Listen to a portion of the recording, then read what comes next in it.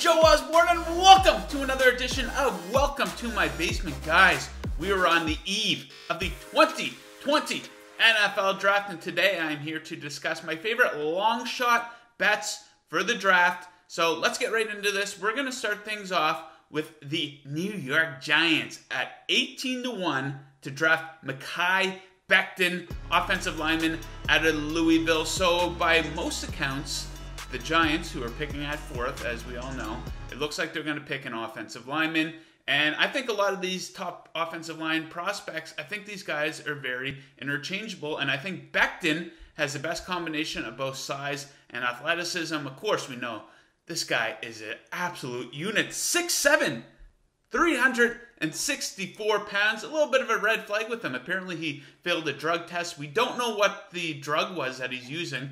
I think we can assume that it's marijuana, but hey, let's be honest, who among us hasn't enjoyed a little puff every now and then? So we shouldn't judge him for that. So Mekhi Becton, 18 to 1 to the Giants. I don't think it's that big of a reach. Gettleman has been known to make a little bit of a reach in the draft. Of course, we know that. So that's a spot I like quite a bit.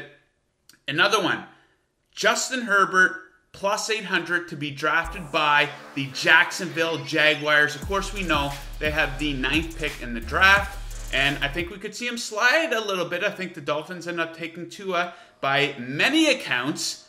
The Chargers are very happy going forward with Tyrod Taylor. They also have some options in free agency with guys like Cam Newton. So I think we could see Herbert slide. And I think the Jags are a team that can afford to take a quarterback in the spot they have many other needs, but they also have the 20th overall pick in the draft, and they had 12 total picks in the draft this year.